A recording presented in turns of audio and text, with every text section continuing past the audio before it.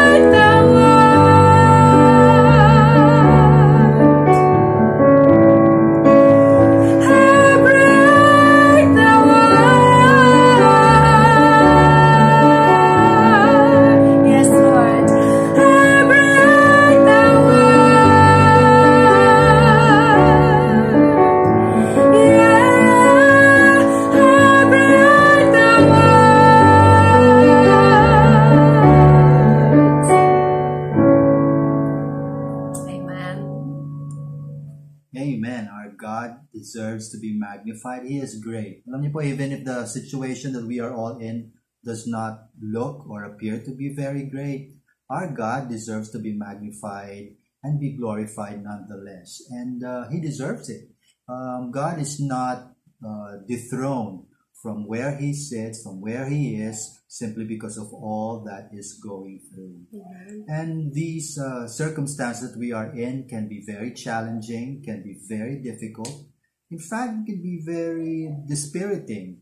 Um, the longer this quarantine is taking, I am noticing in myself and in our families, in my family, that uh, we seem to struggle more and more as this quarantine is extended. Well, I think we have to work really hard Mhm. to keep our eyes on the Lord.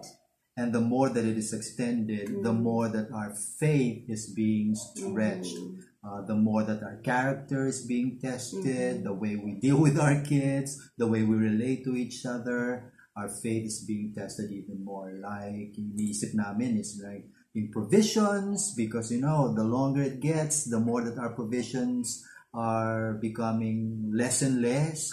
And then we also wonder about the future. But in, in regard to this, tonight I would like to just remind all of us that kapag mga ganitong situation that we are discouraged or where we see uh, ourselves uh, or finding ourselves uh, being in a place of difficulty or struggling with our faith, let us turn to Jesus. Let us go to Jesus. Sa Kanya tayo lalapit.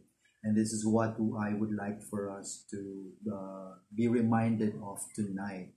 We actually sang a song last Sunday, or I sang a song last Sunday that talks about coming to Jesus. Mhm. And uh, when we are thirsty, when we are afraid, when we are fearful, all that we need to do is turn to Jesus. You know, one thing that this quarantine has taught me and taught us is, you know, everything that we have been holding holding on to, um, wala silang, they have no power to actually sustain us. Mhm.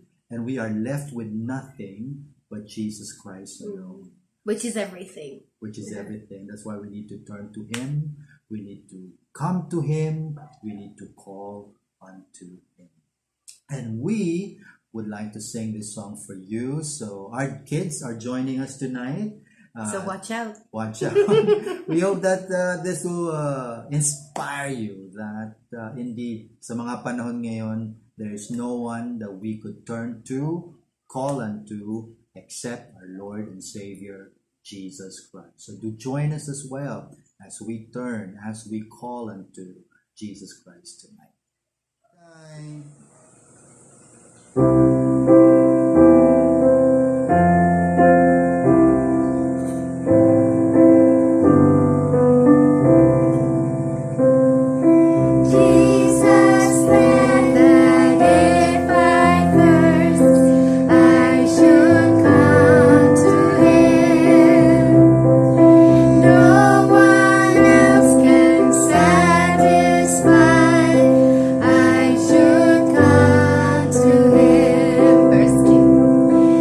me.